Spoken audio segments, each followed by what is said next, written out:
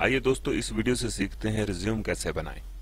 दोस्तों, इस वीडियो के डिस्क्रिप्शन में आपको एक एम एस वर्ड की फ़ाइल मिलेगी, जिसे आप डाउनलोड कर लें, जो रिज्यूम के का सैंपल है। जो रिज्यूम का सैंपल है, जिसमें आप एडिट करके अपना रिज्यूम तैयार कर सकते हैं। रिज्यूम के बहुत से फॉर्मेट होते हैं, उनमें से एक फॉर्मेट में आपके लिए लाया हूँ, जो इस वीडियो के डिस्क्रिप्शन में आपको मिलेगा। आप इसे डाउनलोड कर लीजिए और इसमें एडिटिंग कैसे करना है, जब आप डाउनलोड करके इसे ओपन करेंगे तो बिल्कुल जैसा आपको स्क्रीन पे दिख रहा है, इस तरह से दिखेगा।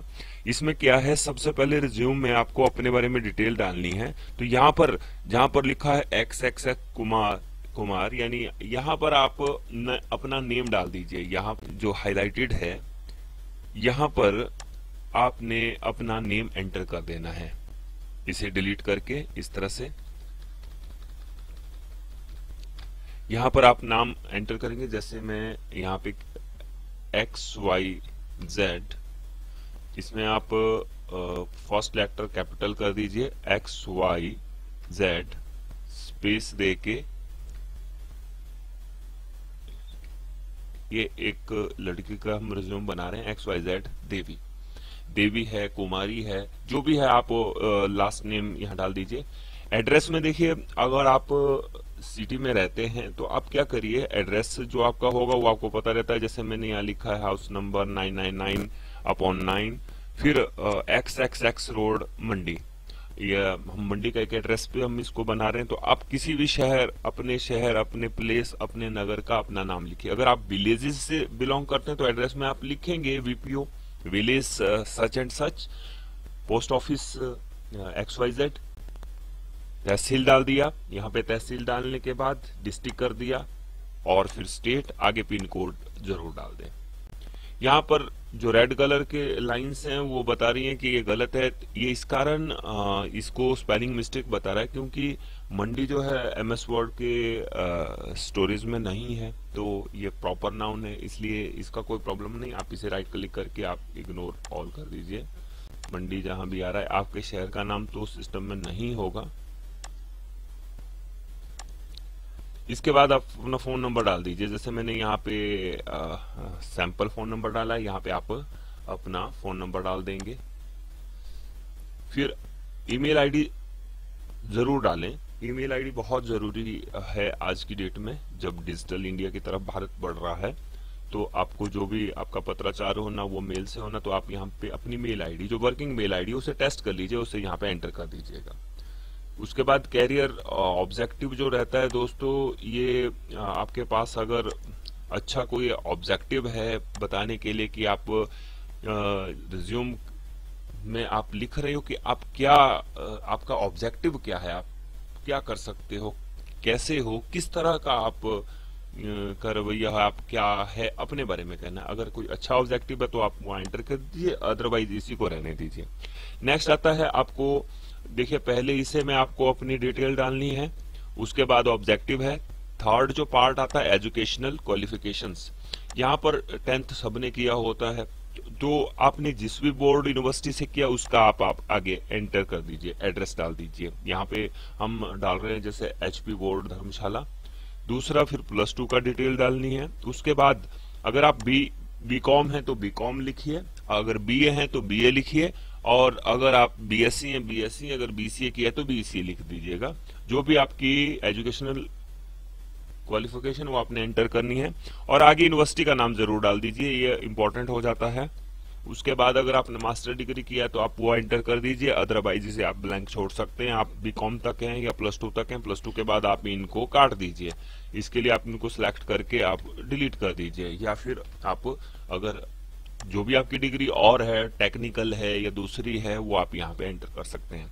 नेक्स्ट आता है प्रोफेशनल क्वालिफिकेशन इसमें आपने कोई डिग्री डिग्री के अलावा कोई डिप्लोमा किया हो किसी तरह का तो आप वहाँ एंटर कर दीजिए, जैसे पोस्ट ग्रेजुएट डिप्लोमा है, या आपने बीएड करके रखा है तो आप यहाँ पे एंटर कर दीजिए यूनिवर्सिटी का नाम साथ में डाल देंगे। नेक्स्ट उसके बाद आपको अदर क्वालिफिकेशन आपने जैसे कोई टेट पास किया है, आपने कोई एलिजिबिलिटी टेस्ट पास किए हैं, या कोई अदर टेस्ट आपने क्वालिफाई करके रखे हैं तो उनका डिटेल आप डाल सकते हैं। यहाँ पे मैं जस्ट टेट के बारे में बता रहा हूँ। तो आप वो अपने अकॉर्डिंग उस डिटेल को अपने सर्टिफिकेट से एंटर कर दीजिए। इसमें क्या होगा कि आपने कहाँ से पास किया, कब पास किया, ये भी आप मेंशन करना चाहें तो कर सकते हैं। बिल्कुल लाइन में आपने लिख लेना है। उसके बाद आता है वर्क, एक्सपीरियंस अगर आपके पास कोई एक्सपीरियंस है बताने के लिए तो उसे ज़रूर डाल दीजिएगा। क्योंकि एक्सपीरियंस मैटर करता है। जब भी आप एक्सपीरियंस डालेंगे तो उसी से टेस्ट किया जाएगा आपकी प्रतिभा को। तो आपने एक्सपीरियंस डाल देना। जैसे एक्सपीरियंस कैसे लिखेंगे थोड़ा सा एग्ज़ाम्पल यहाँ पे आपने मंथ में बताना है कितने मंथ का आपका एक्सपीरियंस है। ईयर्स में है तो ईयर प्लस मंथ कर दीजिएगा। उसके बाद यहाँ पे जहाँ पे ओ आर जी मैंने लिखा है, वहाँ पर आपको उस ऑर्गेनाइजेशन का, उस फॉर्म का, उस बिल्डिंग का, उस उस एरिया का नाम लिखना है। एरिया से हमारा मतलब है कहीं ना कहीं तो काम किया होगा हॉस्पिटल में काम किया होगा, किसी शॉप में काम किया होगा।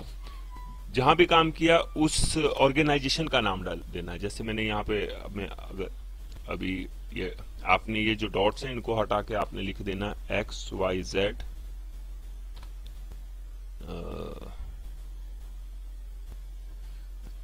Y Z hospital. अगर हॉस्पिटल नहीं है तो स्कूल का नाम है तो स्कूल डाल डाल दीजिए। स्कूल का कोई नाम होगा।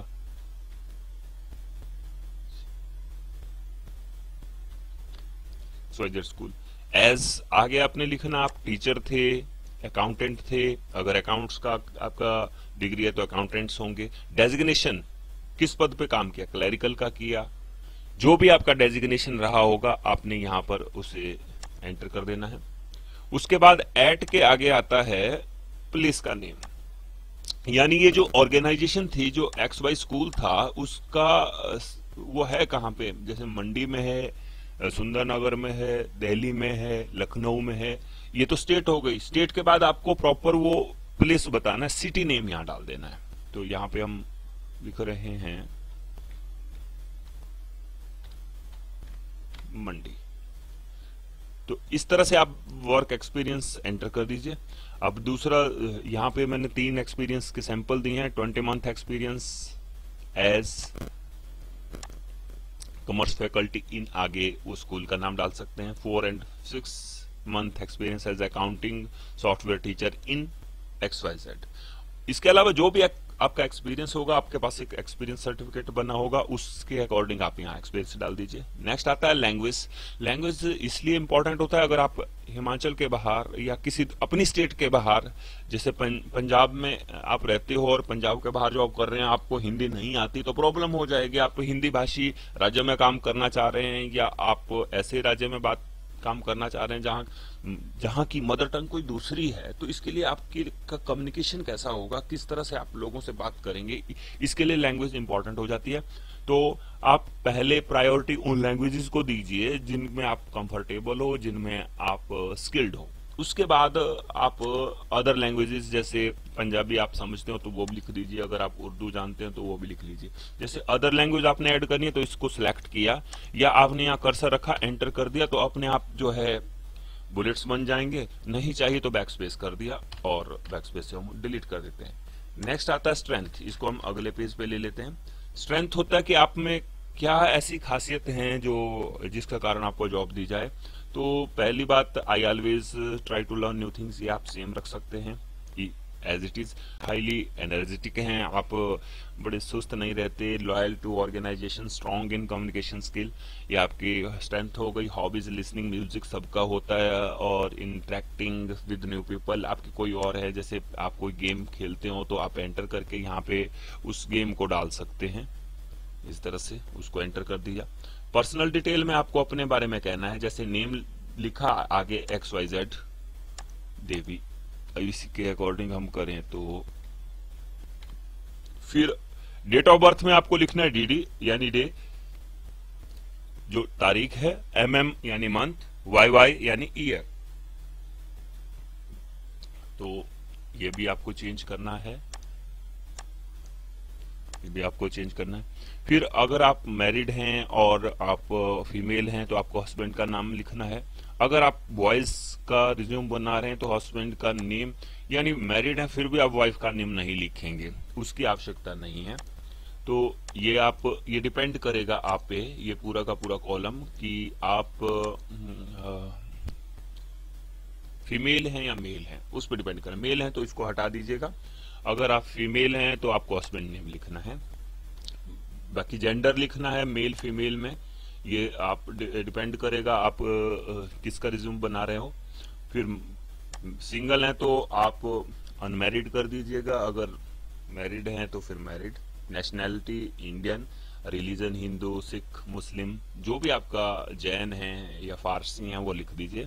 और यहाँ पर आपने डेट डेट के आगे डेट कुछ भी चेंज नहीं करना, यहाँ पर आपने नेम चेंज करना है। तो अगर आप रिज्यूम बना रहे हो और रिज्यूम में आप नहीं जानते कि रिज्यूम कैसे तैयार किया जाता है तो ये वाला सैंपल आपको डिस्क्रिप्शन में मिल जाएगा। इस वीडियो के डिस्क्रिप्शन से आप इसे डाउनलोड कर लें। आपको चेंजेस वो करना है जो मैं आपके लिए येलो कलर में हाईलाइट कर देता हूँ। अगर आपके पास एक्सपीरियंस है तो एक्सपीरियंस में इस तरह से होगा। बाकी यहाँ पर आपको अपनी डिग्री क्वालिफिकेशन डालनी है। यहाँ पर एड्रेस के अकॉर्डिंग आपको डालना है, क्योंकि ये जो भी एड्रेस होगा, ये आपका होगा इसको भी मैं हाईलाइट कर देता हूँ। और मेल आईडी भी आपको चेंज करनी है।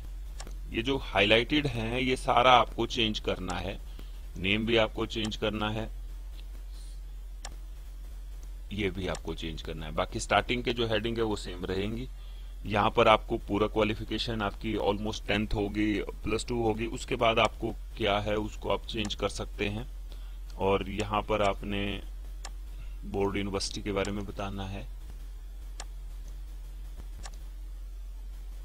और जहाँ भी येलो कलर दिख रहा है, वहाँ पे डिटेल डाल दें और आपका रिज्यूम तैयार है, उसे प्रिंट आउट करके आप ज़रूर जॉब प्राप्त कर सकते हैं। इसमें एक चीज़ और दोस्तों, यहाँ पर मैं एक छोटा सा एरिया आपको बता देता हूँ। यहाँ पर आपने पिक्चर लगा देनी है। आपने जब प्रिंट आउट करेंगे, उसके बाद पिक्चर आपने ऐड कर देनी है यहाँ पर। यहाँ पर आपने फ़ोटो लगा देना है और आपका रिज्यूम तैयार है। इसके अलावा आपके पास अदर कोई, बिल्कुल अदर ही कोई क्वालिफिकेशन है डिटेल है तो आप डाल सकते हैं। जो जो चीज़ें चाहिए, उनको आप रखिएगा। जो नहीं चाहिए, जैसे आपको ये ये नहीं चाहिए तो आप क्या कर सकते हैं, इसको डिलीट कर सकते हैं। सिंपल सेलेक्ट किया और डिलीट किया। आशा करता हूँ आप सभी इस वीडियो की हेल्प से अपना अपना रिज्यूम एम एस वर्ड में बना सकें और अच्छी जॉब प्राप्त कर सकें। धन्यवाद।